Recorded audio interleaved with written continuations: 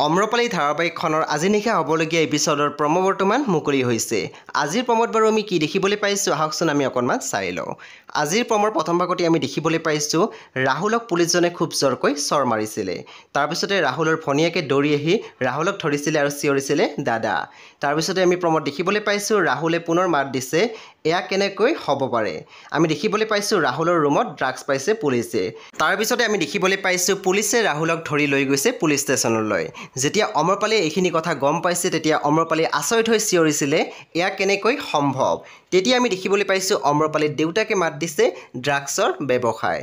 প্ৰমৰ একেবাৰে অন্তিম ভাগত আমি দেখিবলৈ পাইছোঁ যিহেতু আপোনালোকে গম পালে ৰাহুলক পুলিচে ধৰি লৈ গৈছিলে ৰাহুলে লকআপত তলত পৰি আছিলে আৰু পুলিচজনে চাই হাঁহি আছিলে।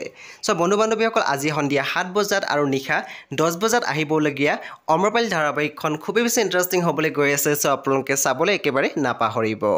পৰৱৰ্তী আপডেটৰ বাবে আপোনালোকে আমাৰ চেনেলটো ছাবস্ক্ৰাইব কৰি কাষত থকা বেল আইকনো টিপি দিবলৈ নাপাহৰিব।